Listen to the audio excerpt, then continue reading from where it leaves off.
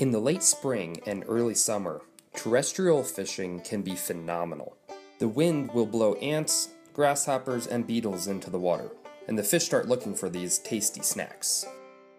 We will start this fly with a fine black thread, in this case Danville 6-aught.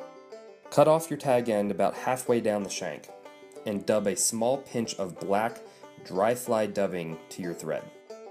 Wind the dubbing on to create a small round ball towards the base of the fly. Be careful not to wrap any fibers in the hook, like I just did.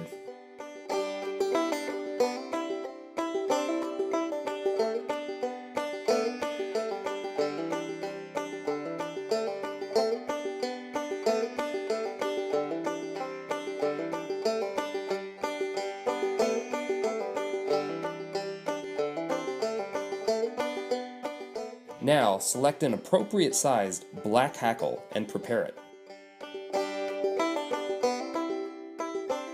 Attach your hackle pliers and wind on the hackle about 3 to 4 times.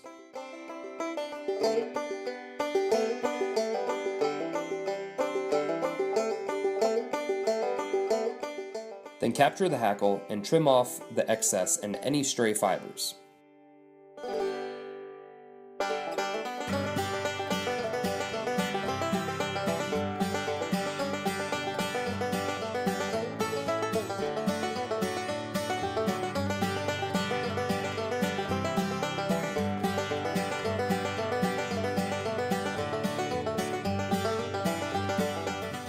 Now dub in about half as much of dubbing as you did on the back to create a smaller sized round ball right at the eye of the fly.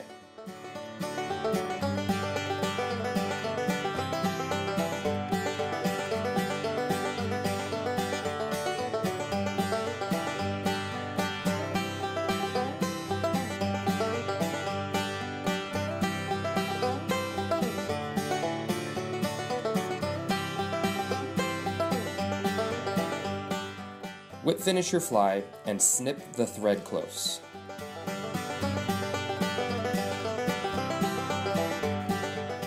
And there we have it, a super simple ant pattern that is extremely effective early and midsummer. Hey, thanks for watching. If you like this sort of thing, please subscribe. Leave your questions in the comment section below. Now, go catch some fish.